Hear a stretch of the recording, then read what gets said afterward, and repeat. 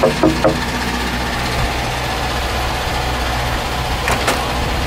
there, I'm JB with August Burns Red, and this is our bus on Warped Tour. Come on up.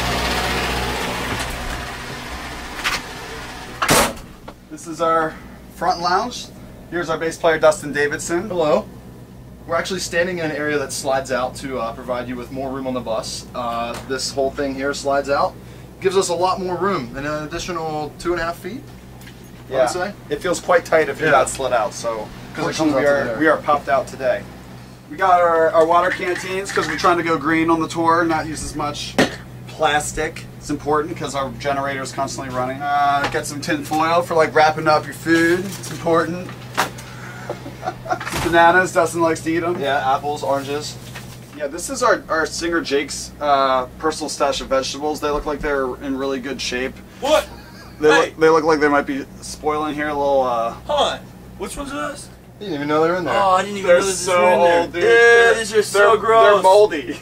Yeah, these Eat are 'em. my Eat one for the camera. No, I'm not gonna eat one for the camera. That's salmonella. That's Uh, horrible. here's our Singer Jake's uh, sparkling ice kiwi That's- strawberry. Oh, I really wanted some of that. He doesn't know any of the stuff's in there. No, I, I was looking smell for this. this This is our Singer Jake's what by Raw This is also good as well. Wait, this is good stuff.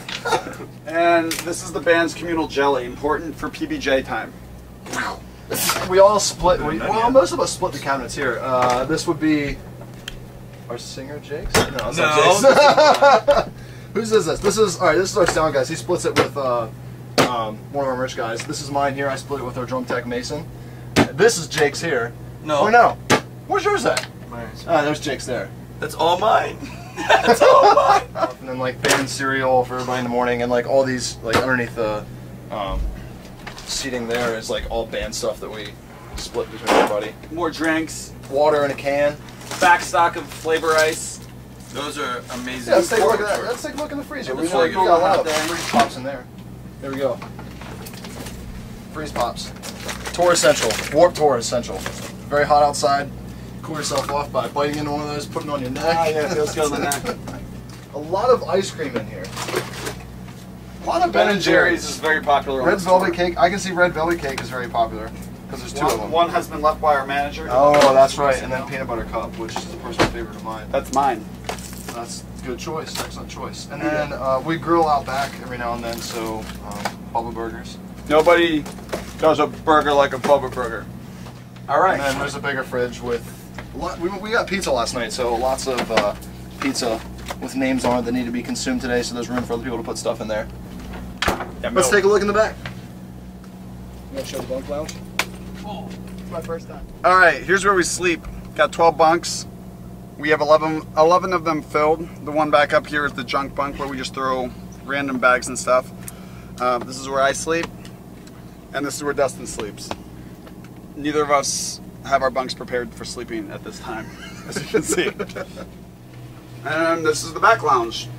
Where, yeah, it's all right though. This is where we go if you're trying to get rid of all the socializing that's often going on up front. If you just want to get away and, and chill back here, it's usually a lot less busy back here. I often come back here to watch baseball in the evening. Um, and this is where I keep my clothes. It's quite full right now. We, we share drawers all over the bus. It's important on keeping the bus clean. Whoop. Shower towels. We do have a shower on the bus. Yeah. Should probably show you that. It's the first time we've had a shower on the bus.